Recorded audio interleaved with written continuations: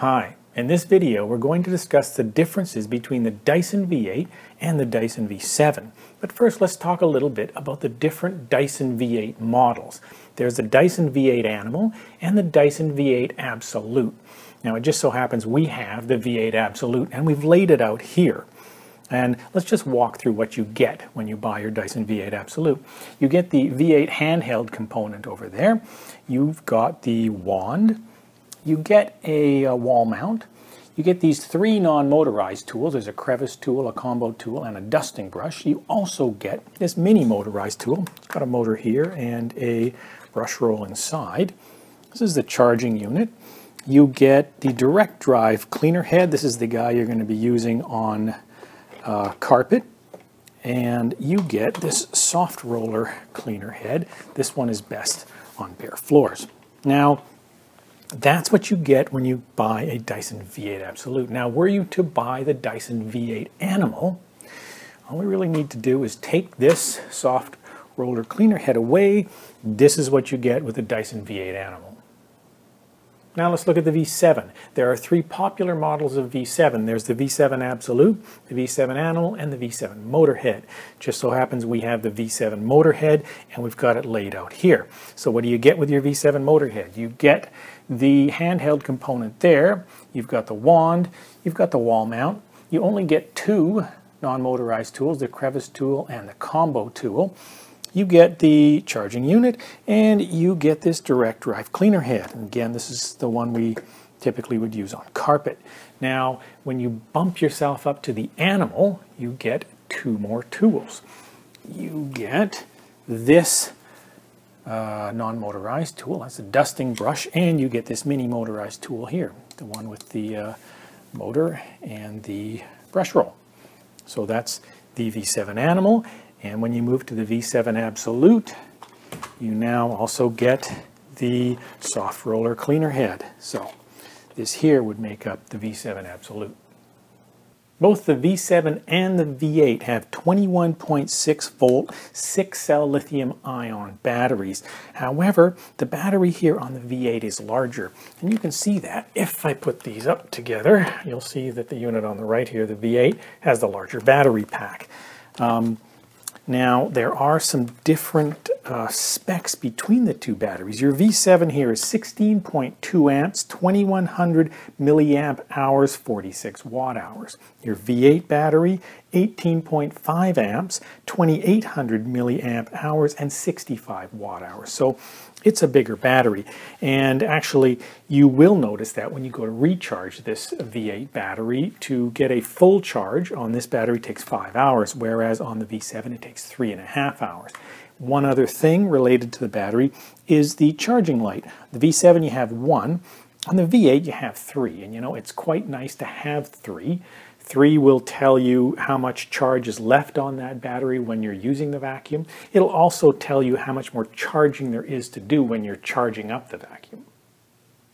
Now a quick look at those charging lights. This is the V7 here. If I turn it on, you'll see that it only had the one charging light. Over here is the uh, V8. Now if I turn the V8 on, you'll notice that only one of those three lights came on, essentially telling you that the battery pack only has about a third of a charge left. So in that last clip, we established that the vacuums have two different battery sizes, and that's going to affect the runtime depending on whether you're in low power mode or max power mode. And we should mention first, I guess, that the machines do have two power modes. There is low and there is max, and there's a switch on top of the handheld component that allows you to go between the two, and it's the same here on the V7. Now we've put together a table here of run times, and um, in blue is the official runtime. That's the kind of thing coming from the manufacturer. In purple below it is our tested runtimes. We'll talk about that in a second. First, let's talk about the official numbers. So in low power mode, with a motorized head, like the ones you see on the end of the vacuums here, the V7 is designed to give you about 20 minutes of runtime. Your V8, about 25 minutes of runtime. Remember, it's got the larger battery. The V7 in max power mode, about 6 minutes of runtime, and the V8, about 7 minutes of runtime. Now, we did tests, we basically made sure that the filters were clean. We use this particular cleaner head, the direct drive cleaner head, on medium pile carpet. Uh, we made sure the batteries were fully charged, taped the trigger down, waited till the machine ran out completely, had a stopwatch, came up with these numbers here.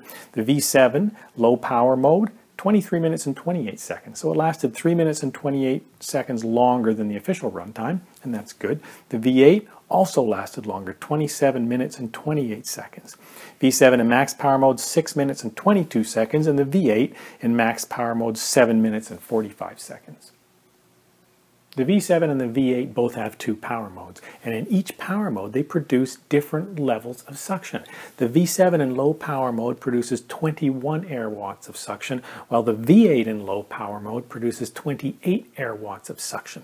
The V7 in max power mode produces 100 air watts of suction, while the V8 in max power mode produces 115 air watts of suction.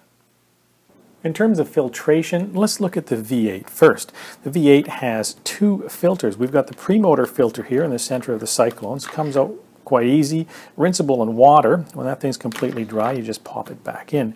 Now there's also a post-motor filter on the back here, and this is a HEPA filter. This one's also rinsable in water, and when it's dry, you just twist it back on. Now, both of these filters uh, show up in the uh, V8 Animal and the V8 Absolute. Over here, if we bring across the V7, now remember we've got the V7 motor head here. The motor head has the premotor filter here in the center of the cyclones. This one is rinsable in water. On the back here though, there's no HEPA filter. Now we talked to Dyson about this and we were told that the V7 motor head only has the one filter and no HEPA. The V7 Animal also has the HEPA filter on the back, and the V7 Absolute does not have this HEPA filter on the back. In terms of dust canisters, the V7 and V8 are pretty much the same.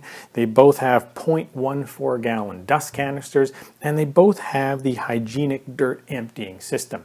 And I'll just show you how that system works. Uh, this is the V7 got a red pull tab here. When you pull that up, this whole assembly comes out of the dust canister. Um, that's really handy because it tends to scrape away dust and debris and even hair that get tangled around this assembly. And when it's pulled up, it often just comes right out. And if it doesn't come out, there's room in there to get your hand in. Now you just slam that back down and close it up like that. Now it's the same on the V8. Now we happen to have the older V6 here. You can see that this has a smaller dust canister and it doesn't have that pull tab. In order to empty this, you open up the bottom door like that. The problem is this assembly is still in there and if there's anything tangled up in there, it's difficult to get at or you may have to take off the um, dust container here to get at it. So the new system on the V7 and V8, the dirt uh, hygienic dirt emptying system is pretty good. We did some noise level tests on both vacuum cleaners. We have a digital noise level meter and it was placed three feet in front of the cleaner heads of both machines and the machines were run in low power mode and max power mode and we collected peak decibels and they're in this table here. So the V7 in low power mode produced 65.0 decibels, the V8 62.2. So the V8 is quieter in low power mode than the V7. Now the V7 in max power mode produced 74.0 decibels, while the V8 produced 71.7. Again, quieter than the V7. Now, even though the V7 numbers here are larger than the V8, we wouldn't necessarily call the V7 a loud vacuum cleaner. We've done cleaning tests for both vacuums on carpet and on bare floors, but let's talk carpet first. What we've done is create a debris, and that debris consists of finely ground Froot Loops, very powdery substance. We've got flax seeds, we've got chili flakes, and even larger green peas. We would consider this kind of a small to medium sized debris. The debris was laid out in a five and a half foot path on the low pile carpet, and we did 10 second passes with each machine. Here's an example.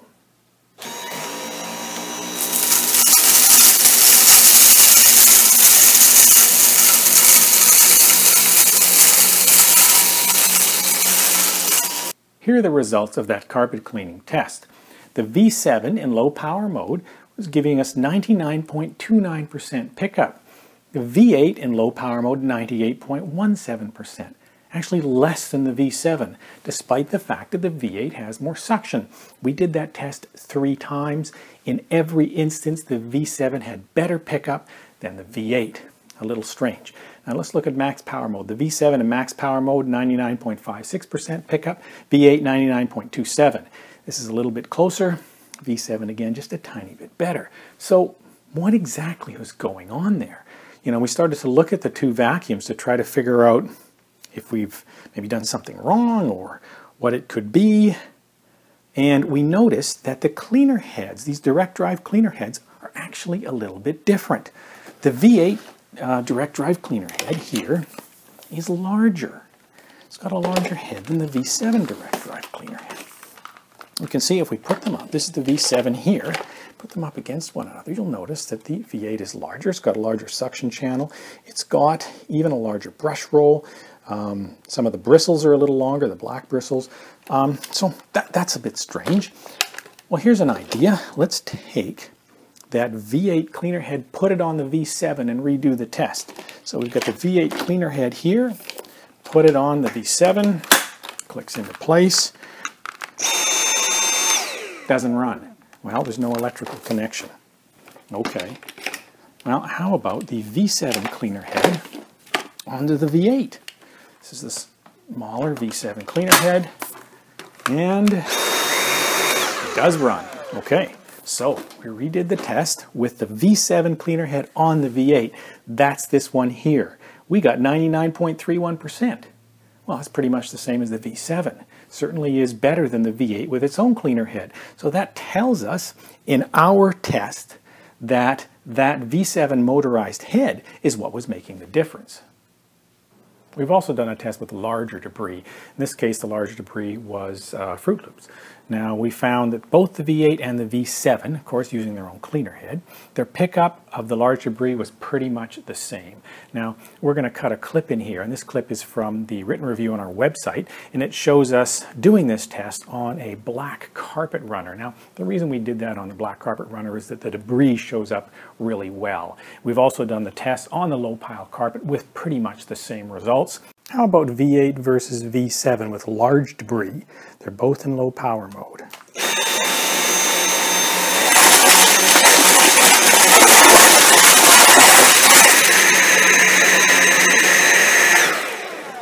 We've also done a cleaning test on smooth flooring, and in this case it's tile. It's the same kind of test as we did on carpet. We've got the same materials, the ground Froot Loops, the chili flakes, the flax seeds, and the green peas. They're laid out in a line, and each machine, the V7 and the V8, was run over it in about a 10 second pass. And in each case we used this soft roller cleaner head because it really does work so much better on bare flooring. Now, the results of those tests are here in this table. We found the V7 in low power mode with the soft roller cleaner head picked up 99.93%. Pretty much everything. The V8 in low power mode with the soft roller cleaner head, 99.88%. Now, I don't think you can read anything into the difference between these two numbers. They're both very high and very much the same. So I think the V7 and V8 pickup in this case is pretty much identical. Um, these numbers are so high we didn't even bother with max power. Um, we're also just going to cut in a quick clip so you can see one of those 10 second passes here.